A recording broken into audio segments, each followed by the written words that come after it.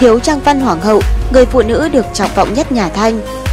Hiếu Trang Hoàng hậu là một phi tần, vợ của hoàng đế đầu tiên triều Mãn Thanh, Hoàng Thái Cực. Và là thân mẫu, mẹ của Thanh Thế Tổ, Thuận Trị Đế, là tổ mẫu của Thanh Thành Tổ, Khang Hy Hoàng Đế. Chính vì vậy, bà được sử sách tôn vinh là một trong những nhân vật quan trọng và đóng góp to lớn cho triều đại nhà Thanh. Với tài trí và tấm lòng thủy chung với nhà Thanh, mặc dù không trực tiếp cai quản triều đình, buông rèm nhiếp chính, nhưng bà giữ vai trò lớn trong vận mệnh Thanh Triều. Bà có nhiều đóng góp quan trọng trong buổi đầu nhà Thanh nhập quan, thu phục Trung Nguyên, khởi dựng đại nghiệp Hiếu Trang Hoàng hậu đã giúp con trai Thuận Trị ổn định ngai vàng, lên ngôi khi mới 6 tuổi, tạo dựng những bước ổn định đầu tiên của nhà Thanh khi vừa mới làm chủ toàn cõi Trung Hoa. Và cũng chính một tay bà đã bồi dưỡng một trong những vị vua tài giỏi nhất Thanh Triều, đó là Khang Hy Hoàng đế, mở ra thời kỳ thịnh đế cho đất nước. Khi đó Khang Hy đế cũng mới chỉ là cậu bé Huyền Diệp 8 tuổi. Mặc dù liên tiếp phải dẫn dắt và phò trợ hai vị vua nhỏ, song bà không lợi dụng tình hình để lũng loạn triều đình, độc bá triều cương mà chỉ đứng sau âm thầm cân bằng các thế lực trong triều để phò trợ vua nhỏ. Vì vậy Hiếu Trang Hoàng Thái Hậu thường được so sánh hình dung một cách đối lập hoàn toàn với Tử Hy Thái Hậu sau này. Hai vị Thái Hậu đầu và cuối triều đại thật khác xa nhau. Hiếu Trang phò vua giúp nước, kiến tạo thành triều đế quốc, đối lập với Tử Hy lũng loạn triều cương và là nguyên nhân lớn đẩy nhà Thanh lụi bại. Hiếu Trang Hoàng hậu tên thật là Bố Mộc Bố Thái hay còn được biết đến với tên tiếng Hán là Đại Ngọc Nhi. Bà là một công chúa của bộ tộc Hoa Nhĩ Thẩm, một bộ tộc dòng dõi cao quý lâu đời ở vùng Đại Mạc Mông Cổ. Bộ tộc này là hậu duệ chính thất, em trai Thành Cát Tư Hãn. Bà sinh ngày mùng 8 tháng 2 năm 1613, niên triều vạn lịch 42 Minh Triều trước những biến cố lớn của dân tộc. Cũng trong những năm vạn lịch Minh Triều ấy, tại vùng thảo nguyên Mông Cổ, các bộ lạc Mông Cổ đã suy yếu rất nhiều so với thời đại Hoàng Kim Đại Mông Cổ Quốc trước kia. Giờ đây, họ thường xuyên bị người nữ chân Mãn Châu uy hiếp. Trong một nỗ lực sau đó, liên minh cửu bộ liên quân Mông Cổ, trong đó có tộc Hoa Nhĩ Thẩm của Mãng Cổ Tư. Là tổ phụ, tức ông của bố Mộc Bố Thái Hiếu Trang, liên quân cửu bộ này đã tiến hành thảo phạt nỗ nhĩ cắp xích, đại hãn thống lĩnh Mãn Châu. Chiến sự kết thúc với phần thắng về quân Mãn Châu, kết quả biến họa thành phúc, Mãn Châu không những loại bỏ được đối thủ hùng mạnh nhất tại Thảo Nguyên, họ còn lôi kéo được Mông Cổ tham gia liên minh với mình, từng bước hình thành đế quốc đại thanh của mình. Trong liên minh ấy, Đại hạn Mãn Châu là nỗ nhĩ cáp xích kết thông ra với hàng loạt vương thất Mông Cổ. Trong đó, hoàng thất thứ 8 của nỗ nhĩ cáp xích là Bát A Ca Hoàng Thái Cực, được ban hôn với Chiết Chiết, con của thủ lĩnh Mãng Cổ Tư của tộc Hoa Nhĩ Thẩm Mông Cổ. Từ nay, Mãn Mông liên hôn sẽ trở thành truyền thống của hai dân tộc này. Liên minh này ngày càng lớn mạnh, nỗ nhĩ cáp xích rất hài lòng. Tuy nhiên, Hoàng Thái Cực ở với chết chết 11 năm mà chưa có con trai nên ông rất rốt ruột. Cuối cùng, anh của chết chết là chạy tang, tiến cử con gái mình là bố mộc bố Thái Hiếu Trang tiến cung làm phúc tấn của Hoàng Thái Cực. Năm đó, bố mộc bố Thái mới 13 tuổi, bà trở thành chắc phúc tấn, đứng ngang hàng với người cô chết chết. Năm 1636, sau 10 năm kế vị Đại Hãn, Hoàng Thái Cực xưng làm hoàng đế, đổi quốc Đại Thanh, mở ra thời đại mới cho người Mãn Châu. Hoàng Thái Cực là vị quân vương đầu tiên của triều Thanh, ông tiến hành học theo quy chế các triều đại Trung Hoa, trong đó chế độ hậu cung phi tần cũng được thiết lập. Đại Phúc Tấn chết chiết được lập làm hoàng hậu, đứng đầu hậu cung, còn bố Mộc bố Thái cũng được tấn phong trang phi, nhưng thứ bậc thấp nhất trong tứ phi nhà Thanh. Năm 1638, Trang Phi hạ sinh Phúc Lâm, vị tiểu A ca thứ 9 cho Hoàng Thái Cực. Năm 1643, Hoàng Thái Cực đột ngột qua đời khi đang giang dở giấc mơ Trung Nguyên. Nội bộ nhà Thanh rơi vào hỗn loạn khi tiên đế chưa để lại di chiếu nối ngôi. Lúc đó trong triều đình nổi lên hai thế lực lớn nhất là Duệ Thần Vương đại Nhĩ Cổn, em trai Hoàng Thái Cực. Ông là thống soái bắt kỳ quân Đại Thanh và trực tiếp cai quản lưỡng Bạch Kỳ. Đội quân Kỳ chiếm hơn 1 phần 3 quân số Bát Kỳ. Đối chọi với Duệ Thân Vương là con trai của Hoàng Thái Cực là Đại A Ca Hảo Cách, vị bối lạc chính danh nhất tiếp quản ngôi báu. Cuối cùng, để tránh gây ra một trận thảm sát trong triều đình, Duệ Thần Vương Đá Nhĩ Cổn không tự mình dương đế mà ủng hộ cửu A Ca Phúc Lâm lên làm vua và dần dần loại bỏ Đại A Ca Hảo Cách. Ngày 8 tháng 10 năm 1643, cửu A Ca Phúc Lâm lên ngôi, lấy niên hiệu Thuận Trị Thanh Thế Tổ. Khi ấy ông 16 tuổi, hoàng hậu của tiên đế là Chết Chết được tấn phong Hoàng Thái Hậu, trong khi mẹ ruột vua Trang Phi Hiếu Trang cũng được tôn làm Thánh Phi Nương Nương. Bên cạnh sự kiện hoàng đế thuận trị lên ngôi có rất nhiều giai thoại. Một bên ủng hộ quan điểm Duệ Thân Vương vì muốn tránh một cuộc thảm sát trong nội bộ Thanh Triều, tránh đối đầu trực tiếp với Đại A Ca Hảo Cách mà ủng hộ vị A Ca nhỏ 16 tuổi là Phúc Lâm lên ngôi.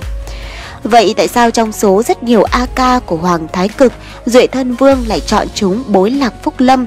Ngay cả khi bối lạc Phúc Lâm mới 6 tuổi thì vẫn còn các A ca nhỏ tuổi hơn, dễ chế ngự hơn. Trong khi bên còn lại ủng hộ quan điểm vì có quan hệ tình cảm từ trước với Trang Phi Hiếu Trang nên Duệ Thân Vương Đa Nhĩ Cồn mới ủng hộ con trai bà lên ngôi. Vậy tại sao sau khi thuận trị lên ngôi một thời gian sau khi loại bỏ hào cách, trong khi vua còn nhỏ nhiếp chính Vương Đa Nhĩ Cồn không phế chuất nhuận trị để lên ngôi? Sau đó đường hoàng lấy hiếu trang hoàng hậu đúng như quy chế mãn châu, như vậy vừa có được ngôi vua vừa có được người đẹp. Nếu xét trong bối cảnh lúc đó, nhà Thanh đã rất mạnh, công khai gây chiến với nhà Minh, hai bên rằng có quyết liệt tại biên thủy phía Bắc. Nếu thực sự Đại Thanh lúc này có biến loạn, tranh giành ngôi báu, dẫn đến chém giết lẫn nhau thì hậu họa thật khôn lường.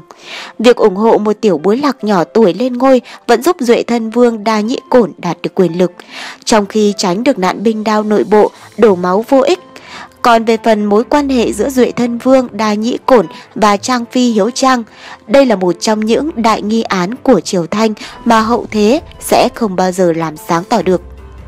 Chúng ta chỉ có thể theo những bằng chứng còn sót lại, nhưng cũng không loại trừ khả năng bằng chứng ấy cũng không chính xác, vì trong thời kỳ đầu phong trào bài trừ bôi nhọ, phản thanh nhục minh vẫn còn rất mạnh mẽ.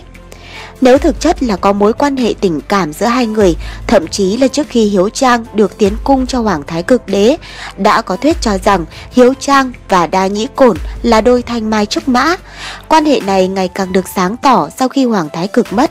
Điều này trên phương diện phong tục người Mãn Châu, việc em lấy chị dâu hay lấy người trong dòng tộc sau khi chồng mất là điều hết sức bình thường. Tương tự với trường hợp nhà Trần Đại Việt cũng như vậy.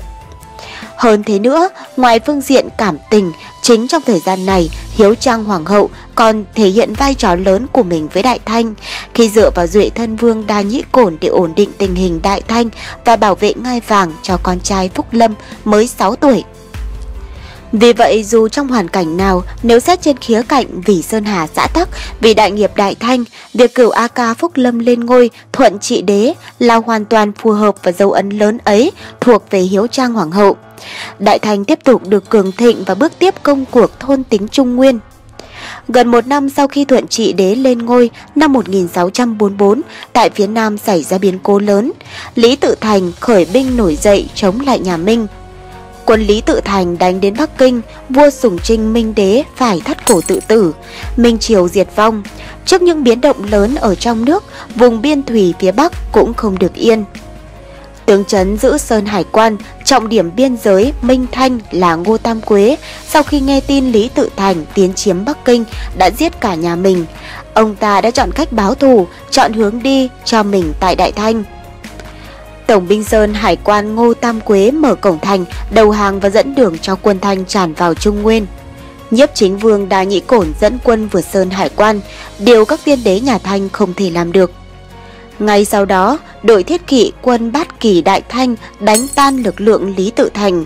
Nhiếp chính vương Đa Nhĩ Cổn khéo léo dùng người Hán trị người Hán, thu phục tất cả các vùng của nhà Minh sau đó, chính thức thiết lập Đại Thanh đế quốc.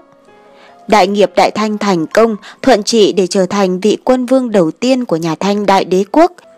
Thế nhưng Hoàng đế Thuận Trị đế không cai trị được lâu, ông qua đời ở tuổi 24. Có thuyết cho rằng ông chán nản sự đấu đá trốn triều đình và do buồn thương Đông Ngạc Phi mất khi sinh hoàng tử nên ông trốn đi tu, tránh xa trần thế. Lúc này triều đình nhà Thanh lại rơi vào khủng hoảng và cũng chính thời gian này vai trò của Hiếu Trang Hoàng hậu lại rực sáng. Với vai trò là mẹ vua thuận trị, thấy được tư chất của Hoàng Thái Tôn Huyền Diệp, bà rất ủng hộ ông lên ngôi sau khi vua cha thuận trị qua đời.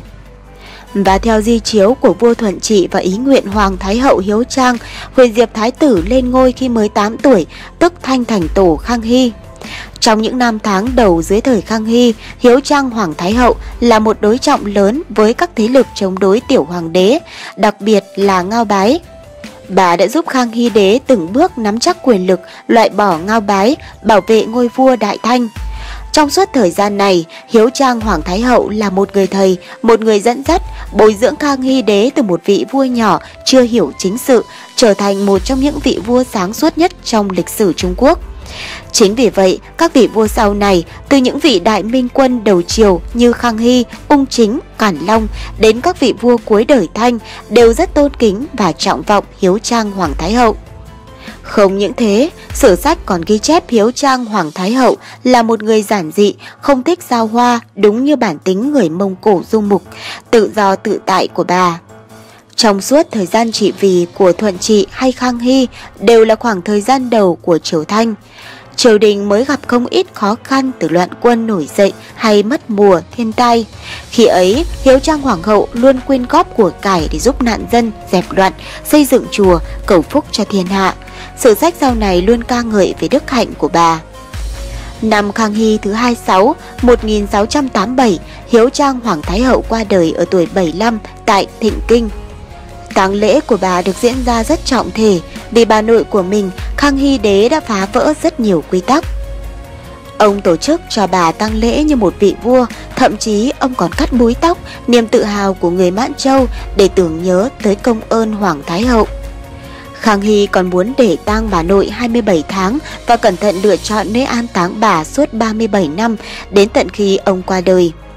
Phải đến đời sau, Hoàng đế ung chính mới thực hiện xong ước nguyện của vua cha Khang Hy là xây chiêu Tây Lăng cho Thái Hoàng Thái Hậu. Đây cũng là lăng tẩm riêng duy nhất cho một vị Thái Hậu trong lịch sử Đại Thanh. Hiếu Trang Hoàng hậu bố Mộc Bố Thái, Đại Ngọc Nhi, mỹ nhân đệ nhất Mông Mãn Hán, người con gái chinh phục đại anh hùng khởi dựng triều Thanh, Hoàng Thái Cực, người bồi dưỡng hai vị hoàng đế thiên tài cho triều đại là Thuận Trị và Khang Hy. Chuyện về bà đến những màu sắc truyền kỳ với giai thoại tình cảm với Duệ Thân Vương Đà Nhĩ Cổn. Cảm ơn các bạn đã đón xem video. Hẹn gặp lại mọi người trong những video tiếp theo.